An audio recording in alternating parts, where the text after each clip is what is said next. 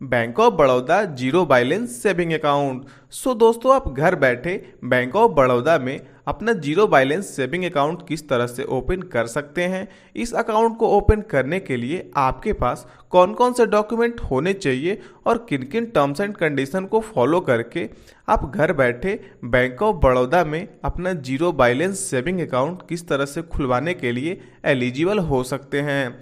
और सबसे इंपॉर्टेंट बात, इस अकाउंट को ओपन करते ही हम लोगों को तुरंत account number IFSC code chequebook ATM card ये सारी चीज़ें हमें कैसे मिलती है? इन सारी बातों को आज हम लोग इसी वीडियो में आगे जानेंगे तो आइए जानते हैं। तो इस अकाउंट को ओपन करने के लिए आपको इस वीडियो के डिस्क्रिप्शन बॉक्स में एक लिंक दिया गया है। वहाँ पे आपको सिंपली क्लिक करना है। दोस्तों, आप जैसे इन लिंक पे क्लिक करोगे तो आप बैंक ऑफ़ बड़ौदा के ऑफिशियल वेबसाइट में खुल के सामने आ जाओगे।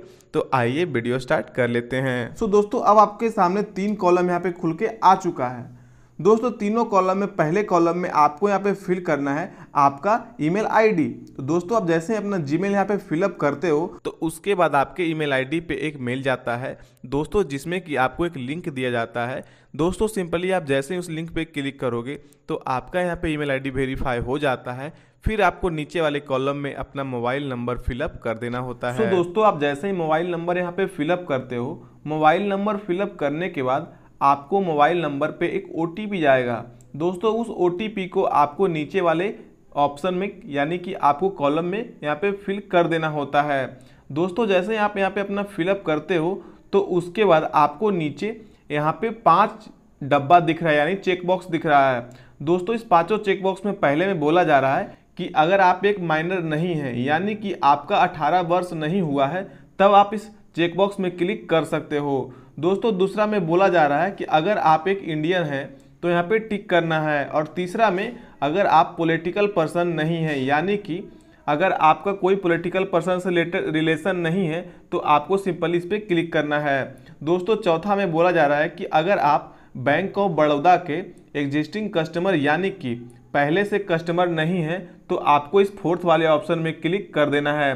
दोस्तों, उसके बाद सिंपली क्या करना है? कि नीचे आपको एक फैक्टर डिक्लेरेशन है। दोस्तों इसमें आपको फिल करना होता है कि अगर आप इंडिया के बाहर टैक्स नहीं पे करते हो तो आपको इस वाले डब्बे पे क्लिक कर देना है। दोस्तों उसके बाद आपको अपना डिक्लेरेशन फॉर्म के लिए नीचे दिया हुआ है जनरल टर्म्स एंड कंडीशन आपको इसके ऊपर क्लिक करना है और इस पर क्लिक करने के बाद आपको नीचे में एक एक्सेप्ट मिलता है। दोस्तों आपको इस सिंपली इस एक्सेप्ट के ऊपर क्लिक कर देना होता है। इस पर एक्सेप्ट करने के बाद नीचे आपको दिया हुआ है के टर्म्स तो आपको के टर्म्स के ऊपर भी क्लिक करना होता है। उसके बाद आपको नीचे एक्सेप्ट के ऊपर क्लिक कर लेना होता है।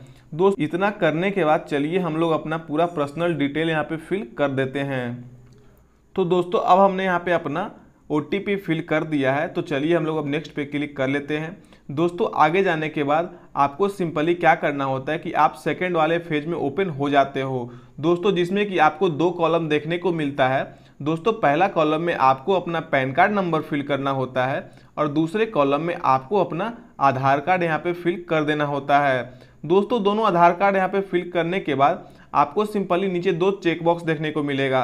दोस्तों, सिंपली आपको दोनों चेक बॉक्स के ऊपर क्लिक कर देना है। दोस्तों, आप जैसे चेक बॉक्स के ऊपर आप क्लिक करते हो तो आपको सिंपली नेक्स्ट के ऊपर क्लिक कर देना होता है। तो आप जैसे नेक्स्ट पे क्लिक करते हो तो अब आपको यहाँ पे अपना प्रोफ़ाइल यानी कि आपका डिटेल्स शो होने लग जाता है। दोस्तों, सिंपली आपको सारा डिटेल्स देख लेना है।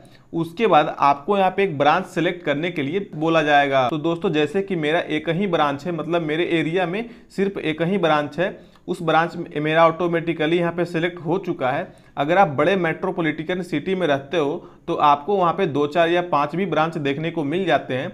अगर आप एक छोटे जगह से हो, अगर आपका एक ब्रांच है तो वो ऑटोमेटिकली यहाँ पे फिल हो जाता है। दोस्तों, नीचे फिर आपको एक प्रोसेस पे क्लिक कर देना है। सो दोस्तों, आप जैसे ही प्रोसेस पे क्लिक करते हो तो आपको यहाँ पे अपना पर्सनल डिटेल फिल करना होता है। तो दोस्तों, चलिए हम लोग अपना पर्सनल डिटेल यहाँ पे फिल कर लेते हैं। दोस्तों, सबसे पहले आपको अपना फादर का टाइटल नेम यहाँ पे फिल करना होता है। उसके बाद आपको फादर का फ़र्स्ट नेम और फिर निचले वाले कॉलम में आपका मिडिल नेम यहाँ पे फिल करना होता है। दोस्तों, उसके बाद आपको लास्ट में फादर नेम यहाँ पे एक बार फिर से फिल कर देना होता है। उसके बाद अब बात आती है कि निचला कॉलम में तो उसके बाद आपको अपना मदर्स नेम का टाइटल या फिल करना होता है। उसके बाद आपको यहाँ पे मदर नेम का फ़र्स्ट नेम यहाँ पे फिल करना होता है। उसके बाद आपको मदर का मिडिल नेम यहाँ पे फिल करना होता है। उसके बाद आपको मदर का लास्ट नेम फिल करके फिर नीचे में मदर का फुल नेम यहाँ पे फिल करना होता है। दोस्तों, उसके बाद आपको अपना रिलीजन यहाँ पे सेलेक्ट करना होता है। उसके बाद आपको आपके ऊपर कितने डिपेंडेंट हैं, ये आपको सिलेक्ट करना होता है। दोस्तों, उसके बाद आपको डिजेबिलिटी आपको सिलेक्ट करना होता है। उसके बाद आपका प्लेस ऑफ़ बर्थ क्या है, वो आपको सिलेक्ट करना होता है। आपका एजुकेशन कितना हुआ है, वो आपको सिलेक्ट करना होता है। और उसके बाद आपको एम्प्लॉयमेंट स्टेटस यानी कि आप क्या हो, अभी वो आपको सेलेक्ट करना होता है। दोस्तों, उसके बाद आपको नीचे में आपका एनुअल इनकम होता है, जो कि वो आपको फिल कर देना होता है। दोस्तों एनुअल इनकम में कम से कम आपको नब्बे हज़ार से ऊपर ही देना होता है। दोस्तों, उसके बाद आपको कैटेगरी पे क्लिक करना होता है कि अगर आप जनरल हैं या फिर जो भी हैं, आपको यहाँ पे कैटेगरी पे सिलेक्ट करके आप अपना देख सकते हो। उसके बाद आपको आपका ऑक्यूपेशन क्या है? अगर आप एक स्टूडेंट है तो स्टूडेंट अगर आप एक स्टूडेंट नहीं है तो आपका जो भी ऑक्यूपेशन है, आप यहाँ पे सिलेक्ट कर सकते हो। उसके बाद दोस्तों आपका मटेरियल स्टेटस यहाँ पे पूछा जाएगा। अगर आप एक शादीशुदा हो तो आपको यहाँ पे मैरिड पे क्लिक करना है। और अगर आप अभी सिंगल हो तो आपको सिंगल के ऊपर सेलेक्ट कर लेना है। दोस्तों, ये सारी अपना पर्सनल डिटेल फिल करने के बाद आपको आपका नॉमनी पूछा जाएगा।